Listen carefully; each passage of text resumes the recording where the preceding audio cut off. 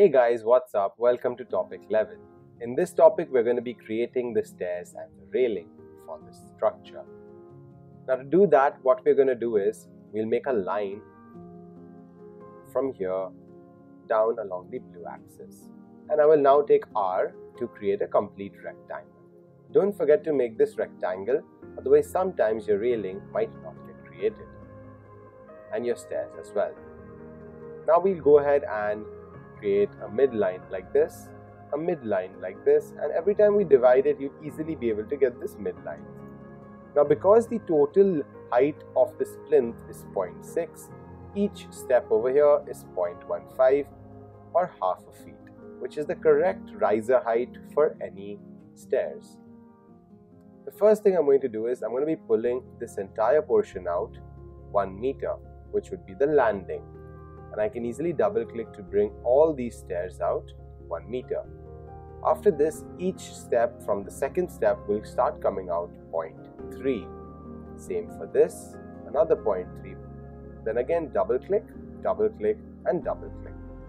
And we'll easily have these stairs created outside like this. Now you can erase these side lines off from here as well as from here. And we can pull this out 0.5, enter and go on this side as well and pull this out also 0.5 enter. And as you guys can see, we have easily created our stairs over here with 1 meter landing, 0.3 tread size in each of this, as well as a 0.5 extension from both the sides. Well, after we have created our stairs, we will be giving 1, 2 and 3, right click and make into group. So we'll do a 3 click selection, right click and make it into a group. After that, we'll be selecting a line and now we'll be getting into creating our railings. So for this, I'm going to be using the line tool and I'll be creating a line along this 0.5 extension of ours. Now once I've created the line, I will get a midline over here or a midpoint over here and I will be able to give a height to this along the blue axis at 1 meter. After this, I can select this line and copy it from this side all the way to this midpoint over here at a lower step. Now do remember whenever you are copying these things or anything at all, you will want to copy it from a reference point. For now, this is the reference point. And you're going to be placing it in the middle of this tread over here. After this, you will now select this as your reference point and you will now copy it over here so that we have a gap as such.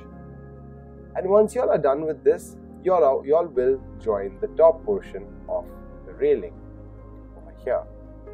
As you guys can see, we can now erase, I'm even erasing the person off, not a problem. We will erase this line as well. So basically, we only have the top portion of our railing line. After that, it might become pretty clear to all of y'all that we will be providing a circle over here of let's say 0.03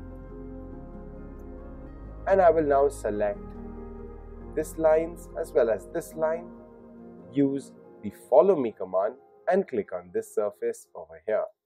And as you guys can see we have now easily created a basic railing for these stairs now with the help of the three click process so 1 2 and 3 we can select the whole railing right click and make it into one single group M control copy it from this side over here as such. Now once you have created the two railings as well as the stairs, you can easily select each of these, right click and make them into one big group which would be the railing and the stairs. Well guys, for this topic we have finished our railing and the stairs and we will be getting into the next topic and I'll see you over there.